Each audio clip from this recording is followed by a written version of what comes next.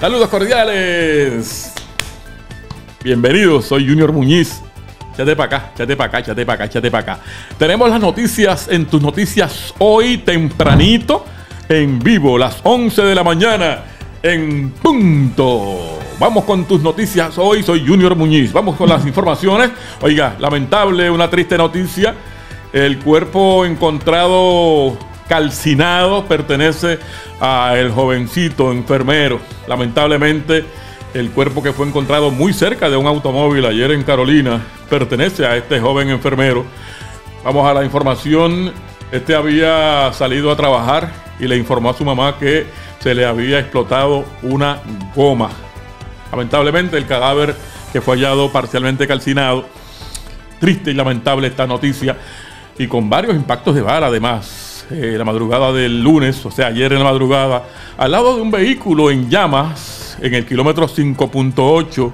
Esto es en la carretera 853, frente a la escuela Salvador Brau, en Barrio Barrazas, Carolina.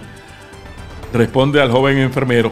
Identificaron al joven como Eric Daniel Muñoz Barreto quien trabajaba a tiempo completo en un hospital del área metropolitana y también hacía lo propio en un hogar de envejecientes a tiempo parcial. No obstante, la directora del Cuerpo de Investigaciones Criminales de Carolina, eh, inspectora Mabel Olivera, señaló que todavía se hacen gestiones para eh, que el Instituto de Ciencias Forenses pueda obtener las placas dentales para fines de una identificación formal del jovencito Qué triste, señoras y señores, buscándose, ganándose la vida honradamente este joven. Muere de esa manera tan trágica. Ahora esperemos que la investigación vaya profunda y que se pueda saber qué realmente, quién realmente mató a este jovencito a balazos y luego eh, incendió el automóvil en el que presumiblemente él viajaba. Él presume, se presume que viajaba en ese automóvil y lamentablemente fue encontrado baleado, calcinado y al lado de un automóvil también quemado en el área de Barrazas, en Carolina. Tanta noticia trágica, señoras y señores. Por otro lado, encuentran el cuerpo del militar desaparecido en la playa del condado. Otra tragedia. Esto es una tras otra tras otra. El sargento de la Guardia Nacional fue encontrado. El director de manejo de emergencias de San Juan Carlos Acevedo informó que este fue divisado desde un helicóptero de la Guardia Nacional, precisamente quien se había unido a la búsqueda. Las autoridades encontraron el cuerpo de Fidel Cruz, de 35 años de edad, a tres millas náuticas de la costa de donde fue arrastrado por el mar en la noche del domingo en la playa del condado San Juan, Puerto Rico, según informó eh, la policía en un comunicado de prensa. Por su parte, el director de la Oficina de Manejo de Emergencias, Juan Carlos Acevedo, indicó que el cuerpo, como les dije, fue divisado desde un helicóptero de la Guardia Nacional mar adentro en la mañana de hoy, martes. Otra tragedia, señoras y señores, muy, muy, muy triste noticia con, esta, con este hallazgo de este cadáver flotando posiblemente, presumiblemente en el área del mar mar adentro, arrastrado por las corrientes, posiblemente el hombre pierde la vida. Mientras que otro hombre, esto fue en Aguada, que muchas cosas ocurren en Aguada. En Aguada un hombre resultó con quemaduras debido a que la batería del sistema o las baterías del sistema solar de su casa se incendiaron. Se incendiaron las baterías. Ahora ese es otro caso. Vamos a ver, personal del distrito de Aguada adscritos al negociado de la Policía de Puerto Rico está investigando este incendio en estas residencias reportado a las 5 de la tarde de ayer. Esto fue ayer a través del sistema 911, carretera 416, kilómetro 1.0, barrio Naranjo, en el pueblo de Aguada.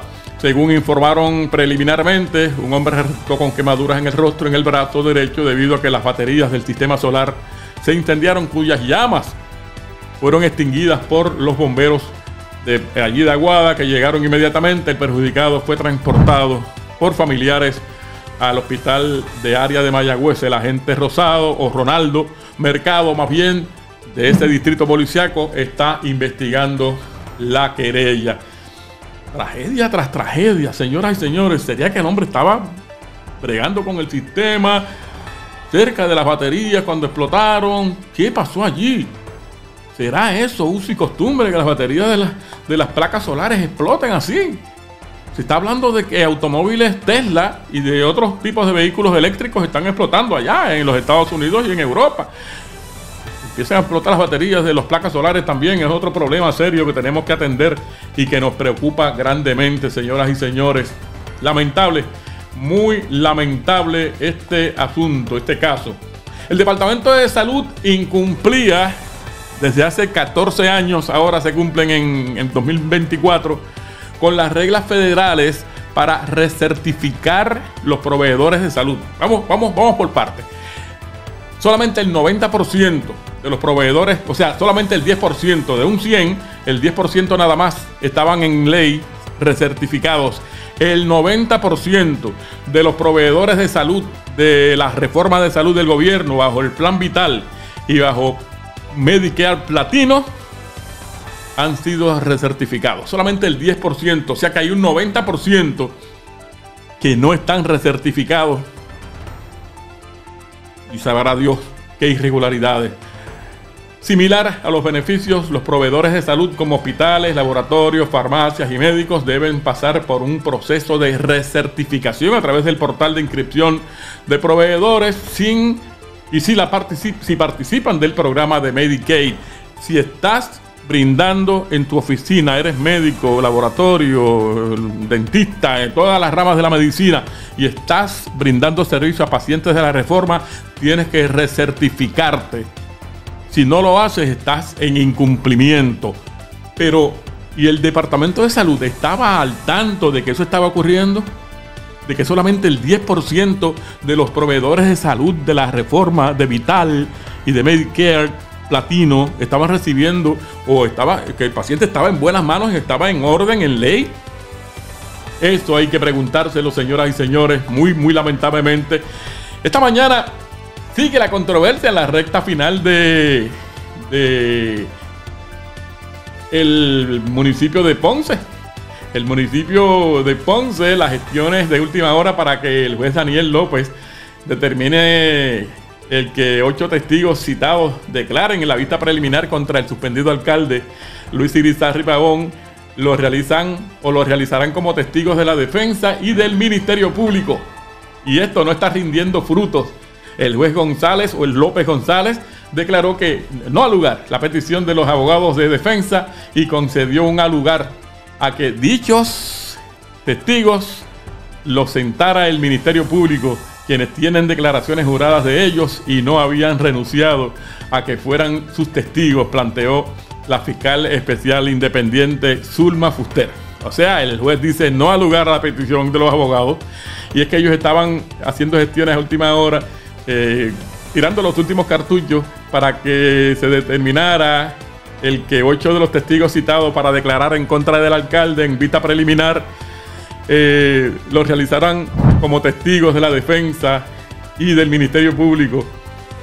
Esto, el, juez le dijo, NO, eso no va.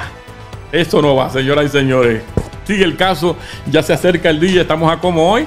Hoy estamos a 11, a 12. Estamos a 12 hoy todo el día. Ya, 13, 14, el 14, 15 de marzo se va a ver la vista preliminar en contra del suspendido alcalde de Ponce, el doctor Luis Irizarri Pavón.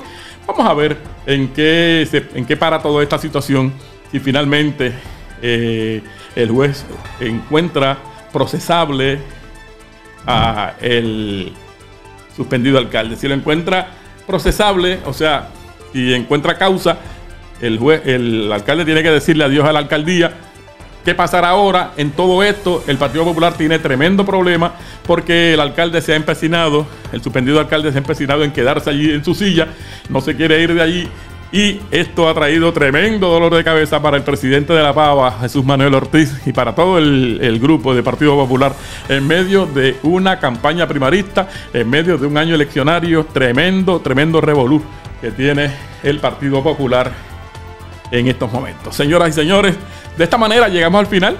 Estas son tus noticias hoy por la mañana. Junior, acompañándote siempre. Buen día, buenas noches, buenas tardes si nos están escuchando a otra hora, porque esto se queda allí en las redes sociales. Lo dijo Junior. Estas son tus noticias hoy.